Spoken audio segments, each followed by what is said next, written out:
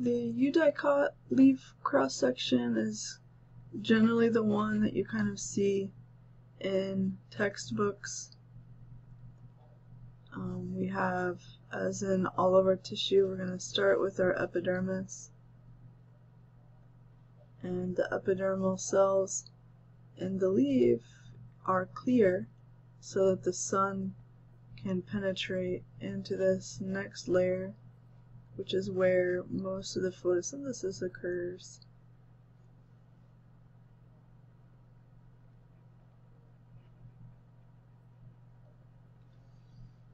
So the middle area of my leaf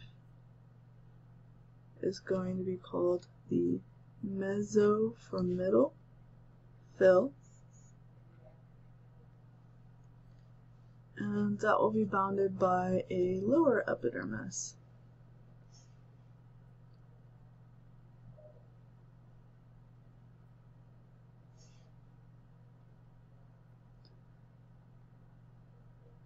In most eudicots, the leaves are parallel to the surface of the earth so that the sun um, hits as much area as possible.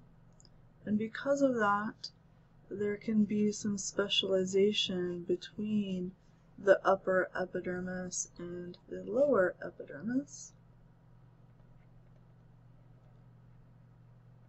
And then that means that we'll have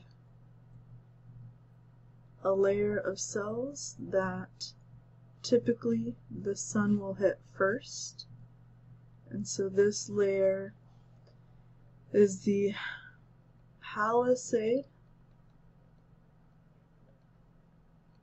mesophyll. And then the layer underneath this typically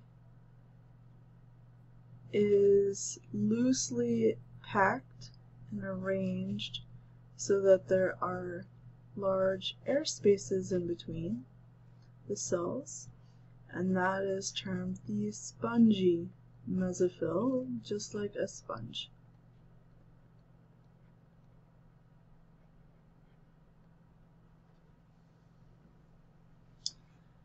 Within the mesophyll, you might come across veins in cross section.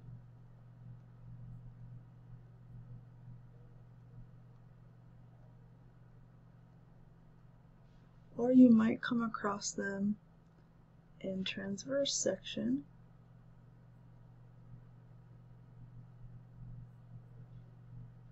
And sometimes you can kind of see that secondary cell wall that's been stained in the xylem compared to the very thin primary cell walled phloem cells. But otherwise it's going to be filled with um, the mesophyll, the palisade, and the spongy.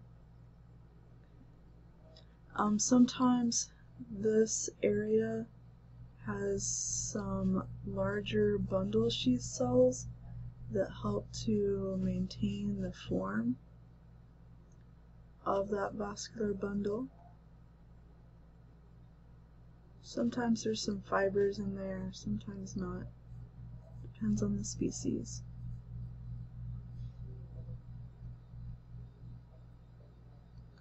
But the, if it's present, that is known as the bundle sheath. We have a layer on top of wax and a layer on bottom of wax. That waxy layer makes a really nice barrier so that these aerial organs do not lose water and it provides pretty good resistance to pathogens.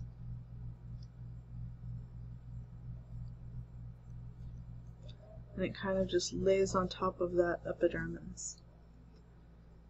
The Right, so the next thing that I wanted to talk about were some special epidermal cells. They are called the guard cells.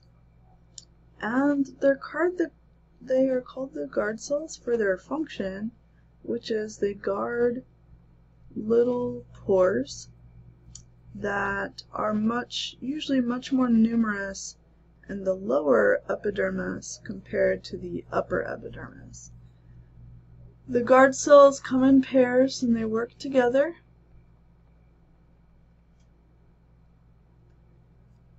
And um, this area between the two guard cells, that is a pore, and it is known as a stoma, stomata for plural, and it means mouth.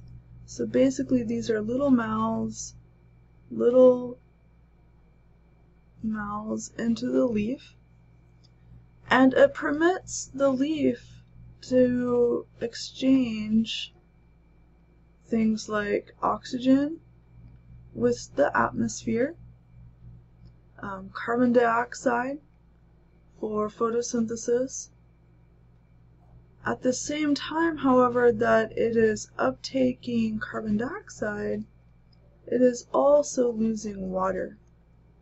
And water is very precious.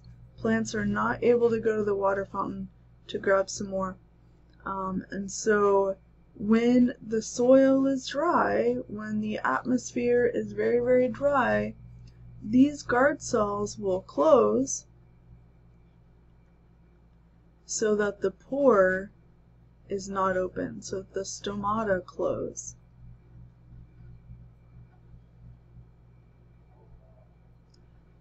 One other item, um, I want to talk about a couple of different cell types within the palisade. So these palisade cells, as I've already mentioned, um, their major function is for photosynthesis and because of that, you'll see that they are green and they're chock full of the organelle chloroplast. And because of this, they have a specialized name um, that refers to these cells full of chloroplast that are called Chlorenchyma cells.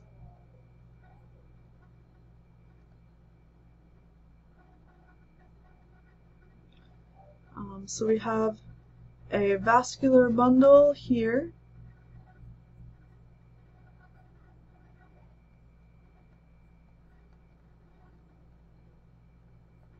And that vascular bundle is filled with phloem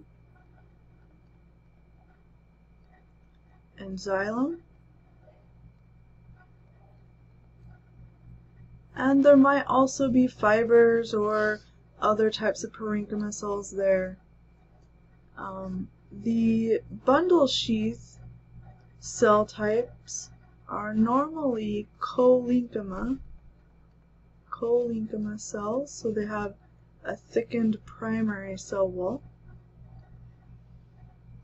And the Spongy mesophyll can have chloroplast, but again, that's not its major function, so it won't um, have that many.